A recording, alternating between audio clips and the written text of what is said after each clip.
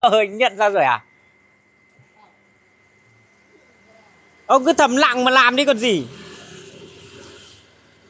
Gọi cho nó nó dậy, Nó vừa gọi ông á?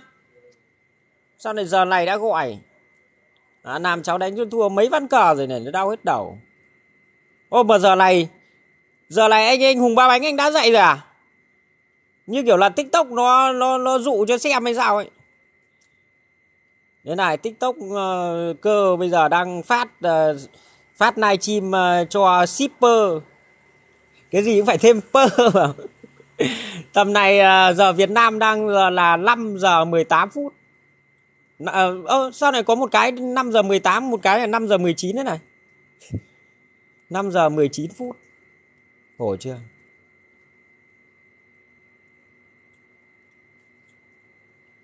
Đấy, tự tự mở cổng vào chào chào chào ông chuyển chào nháy trước gì. Này an ninh dân dân phố mà để ông nhởn nhơ thế này thì chết. Và dạo này giờ giấc nó thất thường quá hẹn ông ông kia hoa giấy à, lấy uh, cho ông ấy một chậu hoa giấy đây nhưng mà ông ấy bảo ông ấy đổi cho một chậu hoa giấy để chụp cho ông ấy để ông ấy cho ăn nhưng mà giờ này không dậy à không kiểu này bây giờ tầm 6 giờ mới đi ngủ thì làm sao mà mà dậy được? Xong rồi trời miền Bắc thì nó lại lạnh thêm mấy ngày. Sắp tới nó lạnh mấy ngày. Xong rồi nó cứ mưa phùn thế này. Mình bảo mình nghỉ Tết à, còn phải quá riêng. Quá tháng 1 thậm chí tháng 2 và vừa ngu nga ngu ngơ đánh mấy ván cờ thế là tỷ số rồi thua mất 3 ván. Thắng được có mỗi ván tỷ số 3-1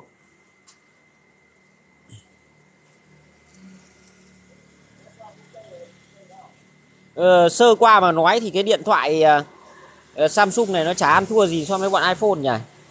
iPhone có 12 megapixel mà. Đấy cho ông đi ship đấy. trời mưa khổ đã bảo rồi. Năm ừ giờ này vừa mới ngủ dậy đấy chắc vừa ngủ dậy nhìn thấy cái lích hùng ba bánh đến ngay đến ngay là anh mình nhưng mà chưa đi chúc tết được. Giờ này cứ phải ở nhà đã. Dạo này đọc nhiều uh, uh, luận cương của các uh, vị hoàng đế trung hoa các cái thời trước công nguyên mà. À, cái con bé uh, lã hậu ấy công nhận nó ghê. Nó nó chặt tay chặt chân. Nó cắt mũi. Nó uh, cắt tai. Xong rồi uh, nó là mẹ gì nhỉ? Nó lo uh, à nó bắt uh, uống uh, thuốc uh, uống thuốc cho cho cho câm cho điếc. Đấy phụ nữ nó dính vào tí quyền lực vào nó dính vào tí ghen tuông vào mẹ nó ghê gớm. Nó độc ác. Bà bà ấy là bà phi của của của hán vũ đế. Hán cao tổ lưu bang. Phụ nữ mà dính tí quyền lực vào xong rồi dính tí tiền vào nó độc lắm nó độc độc đọc mình cũng không tưởng tượng được luôn. Con bà ấy là vị vua vua sau hán cao tổ đây hán cao tổ lưu bang ấy. Đến xem à bà ấy gọi đến. Vào đây là uh, chư chư nhân. Là dịch là đây là nợ người vứt vào hố xí chứ vứt vào hố xí. Thế thế là con bà ấy về thế là gần như như kiểu thần thần thần kinh gần chết. Thêm một năm nữa chết mà ngày người ngày xưa người ta thành công sớm nhỉ? Người ta cứ uh, như là như như Hàn Tín này ông ấy chết uh, năm 35 tuổi mà công danh thành đạt. Cả cả nước biết cả một cái nước Trung Quốc nó rộng lớn như thế nổi danh cả nước luôn. Có 35 tuổi là tặc là là là tạch. Đang đang nghiên cứu ờ, về lịch sử của của Trung Quốc. Những cái người xưa ấy công nhận người ta giỏi. Người ta có ba mấy tuổi mà người ta nổi nổi tiếng ghê gớm rồi đây đây, mình đây gần bốn chục rồi, trong khi chả được cái mẹ gì.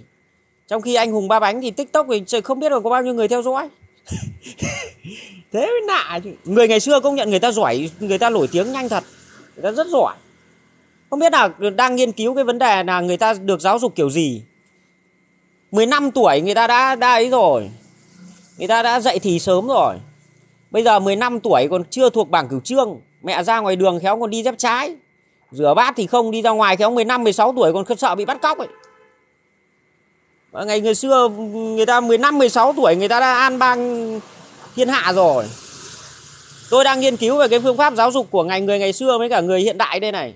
Người hiện đại cảm giác như là làm sao mà thành công bằng cái cái người ngày xưa được. Người ta 20 tuổi, người ta mười mấy tuổi, người ta thành công lắm rồi. Bây giờ mọi người cứ tầm 30 40 tuổi, chả biết là bao nhiêu người theo dõi trên TikTok với cả Facebook bây giờ thế mới bảo là cái cách giáo dục ngày xưa của người ta có lẽ là nó khác chứ không phải là như bây giờ. Bây giờ dạy người ta cách giáo dục kiểu dập khuôn. Không có cái tính, gọi là tính tính đột phá, không có tính sáng tạo.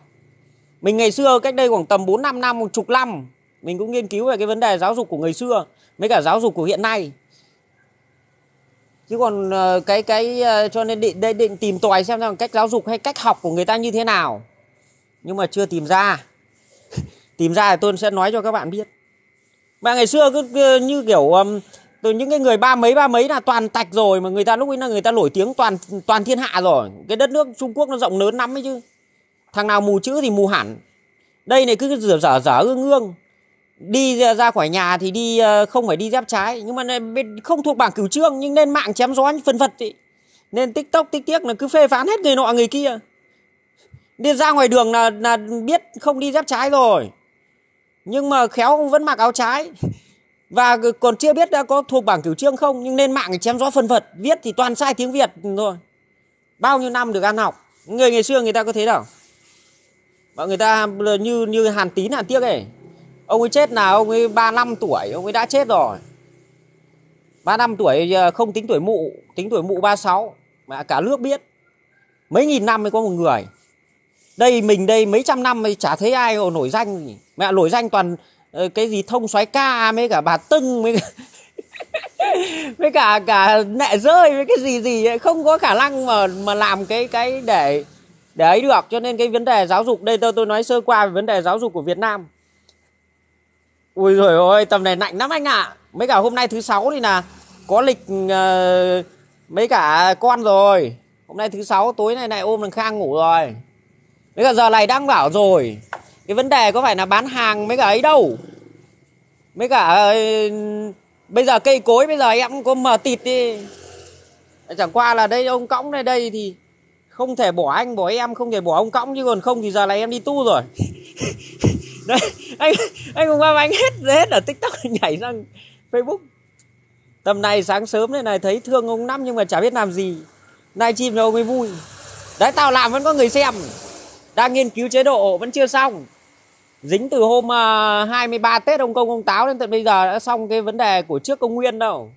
Chưa xong những cái vấn đề hán cao tổ lưu bang với hàn tín, luận anh hùng. Nhiều vấn đề lắm. Xong rồi vừa rồi lại à, cái gì gì, cái gì à, nã hoàng hậu, nã hậu đây. Mẹ nó làm những cái trò mà. Tức là như kiểu là ông ông cõng này có hai bà vợ, thì bà vợ cả là nã hậu đây.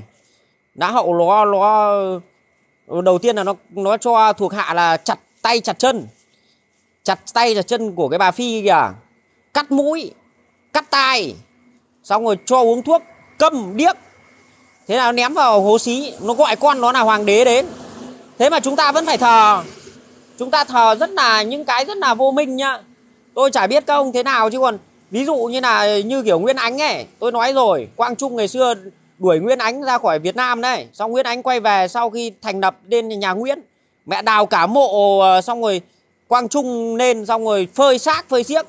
Những cái người ý tôi, tôi tôi không hiểu là đảng và nhà nước yêu cầu chúng ta thờ tôn thờ để làm gì không biết thờ vị vua thế nọ thế kia. Chúng ta thờ người ta từ cách sống cách đối nhân xử thế chứ có phải là cứ cái người trước công nguyên là chúng ta thờ đâu? Còn thờ vì người ta có việc tốt nhưng việc xấu chúng ta vẫn phải lên án mẹ, người chết rồi vẫn đào mộ người ta lên, xong phơi xác, xong rồi thế nọ thế kia, quật mộ cá họ lên, sợ thật. Những cái người thế mà cũng chân mạnh thiên tử đấy. Lính sướng toàn nước luôn. Rất buồn cười. Và đấy, những ngày xưa như thế, đến bây giờ bố thằng, cho thằng nào dám đào mộ. Đúng là cuộc sống chúng ta vẫn hơn cái thời phong kiến. Đó, cái thời ở ấy à, nó như cái thời ờ, thời thời gì đấy? Bà bà bà gì của Việt Nam mình nhỉ? Bà hoàng hậu gì đây? Chấp chính gì đây?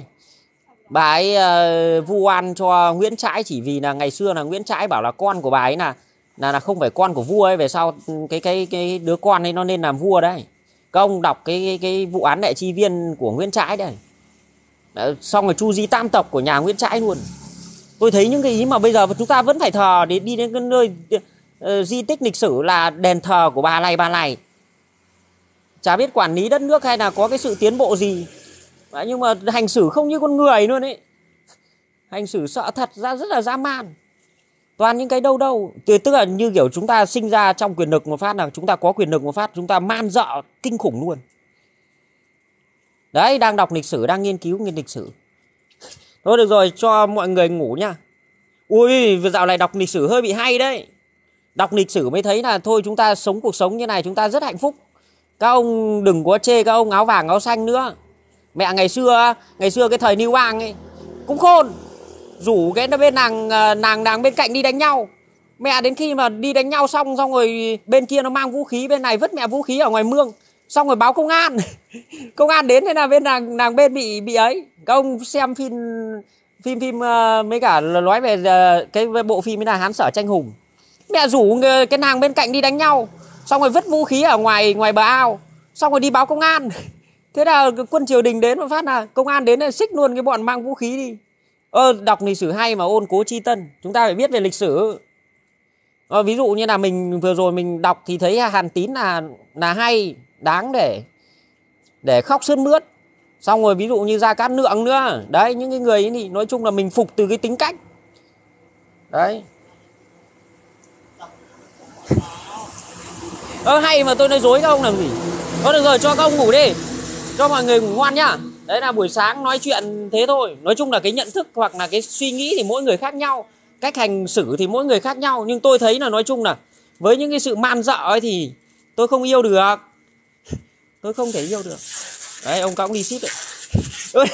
Dung dung dung ơi dung ơi. Mẹ, thế nào mà mà thằng à, mạnh, nó lại nhà, nó lại đeo cái avatar đen kịt. Bảo thế là bảo bà cụ mất, thế bà lội. Mà chả thấy thằng dũng động đậy gì. Bà chả thấy thằng dũng động đậy gì. Thôi đi ngủ đi. Tớ đi ngủ đây. Nói đùa ấy, chưa đi ngủ được nhưng tầm 7 giờ. Chào mọi người nhá. Thôi dậy đi đi làm đi. Đau đau đau hết đầu. Buổi sáng rồi. Bình minh rồi.